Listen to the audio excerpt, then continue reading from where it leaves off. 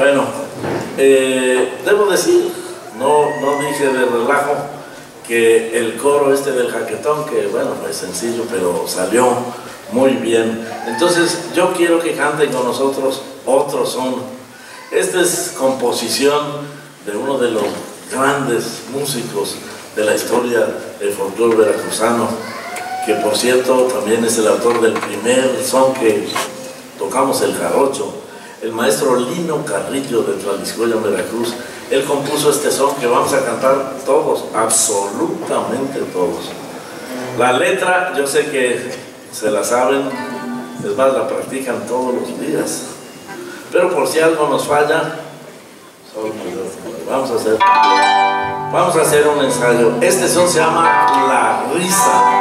Y ¿se pueden reír? Bueno, pero ahora nos vamos a reír cantando así.